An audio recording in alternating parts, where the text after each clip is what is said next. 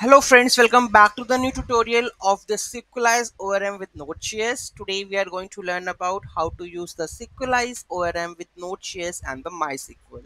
Okay, so you need to install the Sequelize and the MySQL too. So let's install this one first.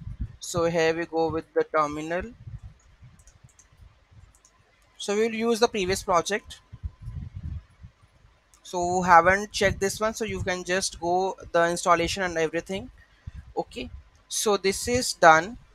So what would be the next? So there is a cli also for creating the generating the migrations models or the seeders folder into your directory. So how you can do that? Just you have to go with this one.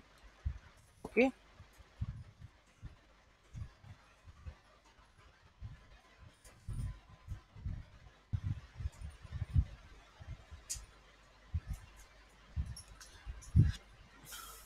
yes.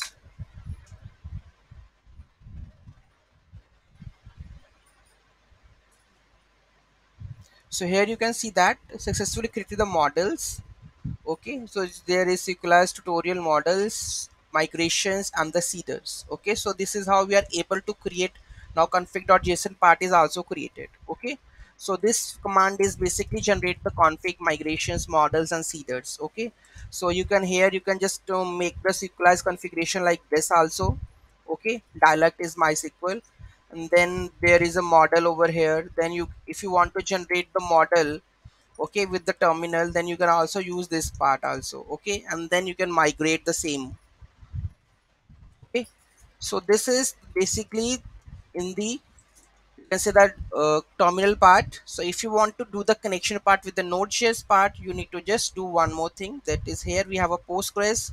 Just used to add the mysql over here. Dialect is mysql. And here to change the database part. So i will show you how to change. Let me go to my database. Localhost php slash adminer. And just here I will just use php my admin okay so I will choose any of the database okay? So for now test db I will use the testdb the customers is here. So I will use REST API section also. REST API 2 is there. So I will use the REST API database. And my username is php my admin. Rest of the thing is would be the same. Okay the localhost and the sequelize test connection would be the same test the database connection. Okay then we have the defining the model the customer. This is also the same.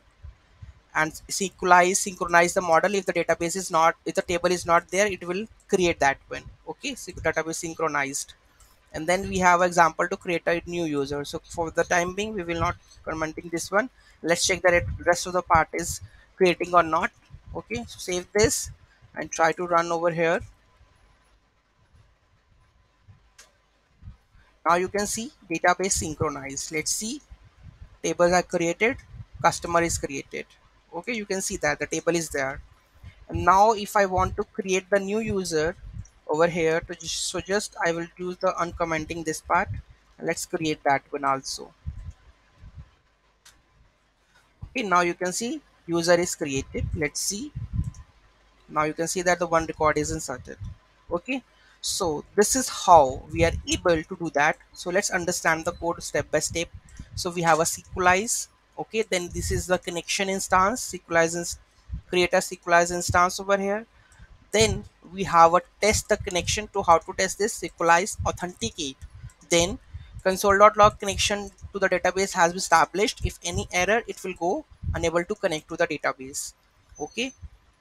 Let me word wrap this also now we have to define the model. Defining the model is user customer first name last name and the email. By default they have the created and, updated at okay? Next we have the synchronize the model. So if the table is not created or doesn't exist it will create that one. Synchronize dot sync okay? Database synchronized and then error synchronizing the database okay then we have uh, users to create that one just dummy user. So we will create that. Otherwise it will throw the error error for correct creating the user. So this is the you can use the node.js sequelize orm with mysql. Any doubt any query in that do let me know in the comment section. Thank you so much for watching this video. Have a great day